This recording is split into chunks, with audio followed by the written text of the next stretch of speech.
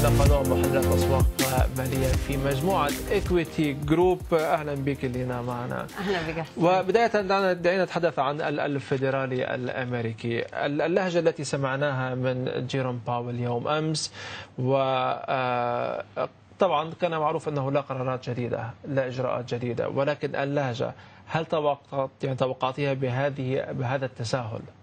آه، نعم كانت التوقعات آه، بهذا التساهل وهي سياسة آه، يعني مرنة كانت سياسة جيروم باول. وأكد أنه في تعافي اقتصادي كما ذكر ثبت السياسة النقدية كما هي. وقال أنه القطاعات اللي تضررت من جائحة كورونا ما زالت ضعيفة رغم أنه يعني تحسنت. لكن عم بيشوف أنه مخاطر كورونا ما زالت موجودة وأنه التضخم عابر وليس مؤقت. وكانوا كل التوقعات تشير إلى ذلك أنه يشير لارتفاعات التضخم حتى الصحفيين ضغطوا على آه، جيروم باول بأنه حتى لو شفنا ارتفاعات آه، آه، ارتفعت التضخم فوق 2% أنه جيروم باول أكد أنه رح يضل يستمر أنه ما يخلي التضخم يرتفع أكثر من 2% بس لكن هو ما عم يتوقع آه، ارتفاعات التضخم تستمر لفترة طويلة.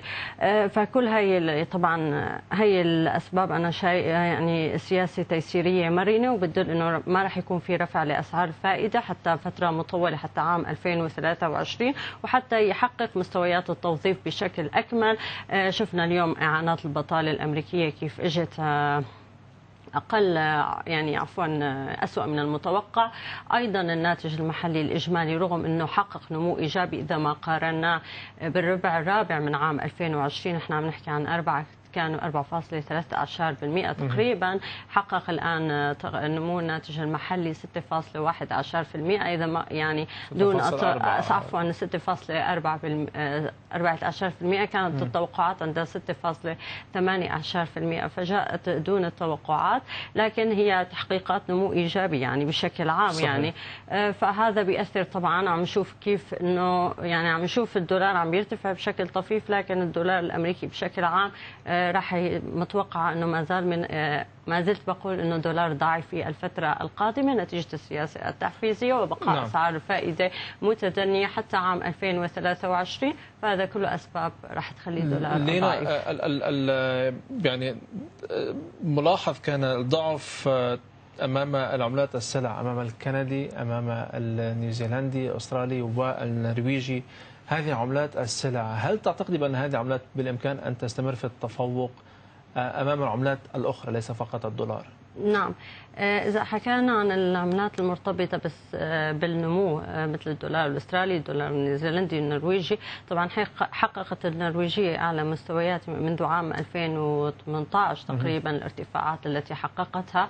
يعني هي الارتفاعات هي مرتبطة بأسعار السلع سواء إذا بدنا نأخذ أسعار النفط بالنسبة للنرويج بالنسبة أيضا الدولار الأسترالي مرتبط بالدولار النيوزيلندي ب- مثلا من الأسترالي بالنحاس أيضا مرتبطة بأسعار السلع وأيضا مرتبطة بالتعافي الاقتصادي وخاصة بالتعافي الاقتصادي في الصين بما أن الشريك الأول نعم. آه، بالنسبة لل بالنسبة للشريك الأول بالنسبة لأستراليا ونيوزيلندا فهي مرتبطة بالتعافي اللي عم بيحصل بالاقتصاد الصيني فأنا مرجح لارتفاعات ل آه، يعني حتى شفنا الدولار الأسترالي الجلسة الثالثة على التوالي الدولار النيوزيلندي الجلسة الرابعة على التوالي فهذا كله عم نتوقع الإيجابية على عم- صندوق النقد الدولي already عم بيتوقع آه، توقعات للنمو الاقتصادي العالمي آه، تقريبا ب 6% فهذا راح يأثر أيضا على التوقعات لنمو الاقتصاد الأسترالي والاقتصاد النيوزيلندي. لأسواق الناشئة برأيك لينا؟ آه، بالنسبة للأسواق ال- العملات الناشئة ما بقى لا يعني ما رح أجزم كثير أني مختلف ال- بين الليرة التركية. حققت. أدنى مستويات خلال الأسبوع الماضي.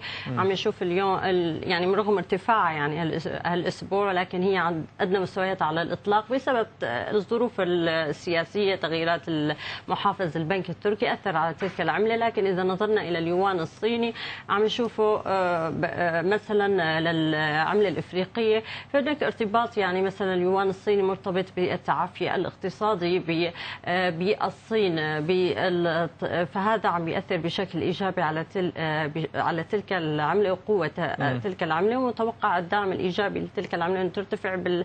تكون مرتفعة. أيضا إذا نظرنا إلى العملة الإفريقية بالتالي أنه رغم أنه إنه هي عم تحقق أعلى مستوياتها منذ عام 2019 منذ ديسمبر 2019 نحن شفنا إنه منذ جائحة الكورونا بالربع الأول يعني بلشت تعوض كل الخسائر اللي طالتها لتلك العملة من الربع الأول من عام 2020 وبلشنا نشوف الارتفاعات بسبب أيضا إنه بتدعمها الارتفاعات بالسلع والمعادن. بلشنا نشوف بالنصف الثاني ارتفاع للسلع؟ فهذا دعم يعني داعم للعملة مثلا الإفريقية. فهي بالنسبة لشكل يعني بالنسبة لليوان الصيني متوقع ما زلنا الإيجابية متوقعة للعملة الإفريقية المزيد من الارتفاع لكن الليره التركيه يختلف الأمر للأوضاع الأوضاع السياسية أيضا نعم. يعني عانت كمان إذا العملة الإفريقية عانت قليلا بسبب الارتفاع يعني بإصابات فيروس كورونا. يعني تحققت تذبذبات خلال فترة الارتفاعات اللي عم تحققها كانت. لينا قنوة من